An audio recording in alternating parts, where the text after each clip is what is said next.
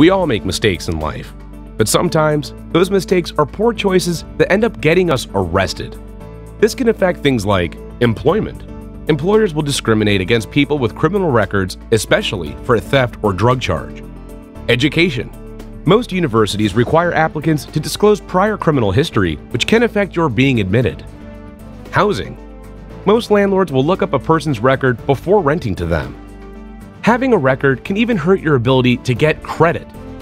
If you were charged criminally in Maryland but were not found guilty, you can likely clear that information from your public record through a process called expungement. Cases in which you were formally charged, except for certain traffic cases, are not automatically expunged. You have to formally ask the court to expunge your record. MarylandExpunge.com is the cheaper alternative to hiring a lawyer who may charge $500, $1,000, or more. MarylandExpunge.com charges just a fraction of that cost and allows you to put in the most basic personal info online and then develops a petition for expungement. You file this petition in the courts, and in approximately 90 days, the charge is removed from your record. Just visit this site, click Expunge Now, and enter some very basic info.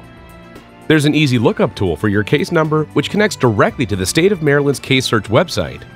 MarylandExpunge.com is simple, safe, secure, and easy to use. Visit MarylandExpunge.com today and get the process started to expunge your record. MarylandExpunge.com is an administrative service, not a legal service, and does not provide any legal advice.